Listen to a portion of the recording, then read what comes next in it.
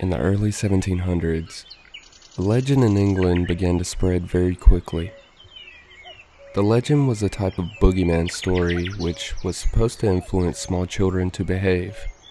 Well, that's how it started anyway.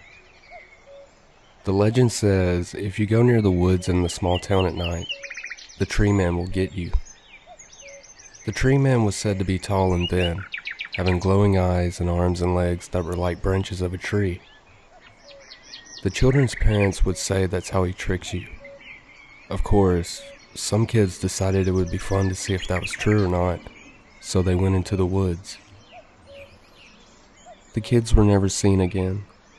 About a year later, the bones of the three kids were found.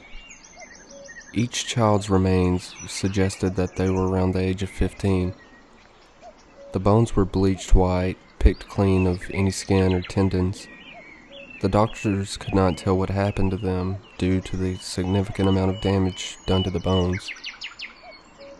After the children's bones were found, their parents went crazy. One of the mothers even tried to kill her husband. She failed but ended up committing suicide. The fathers hung themselves with dead vines around in the forest. One left a note before committing the act. It read, I can no longer sleep. I can no longer eat or live. Every time I close my eyes, I see his face. All of this has been started by that horrible man. In 1902, a group of first and second graders began to act strangely.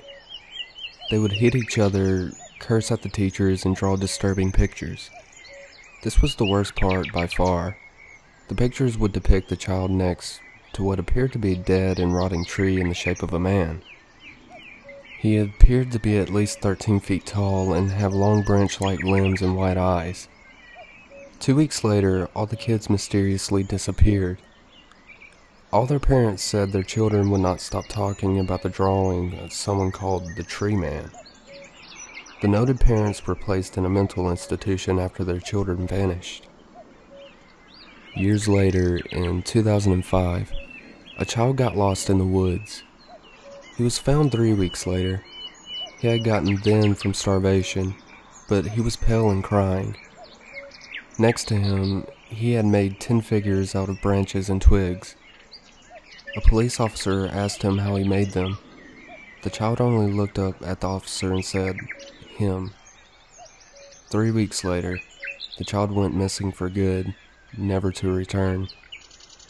His mother was found curled up in the fetal position, crying. Next to her was a piece of paper. It had twigs on it, making symbols that seemed to be some form of language that could not be identified. Up until then, there has been nothing else, except for a small amount of information on the attacks. The attacks only happen in parts of the woods where the trees are dead and rotting, or while someone falls asleep in the woods, unable to see the trees.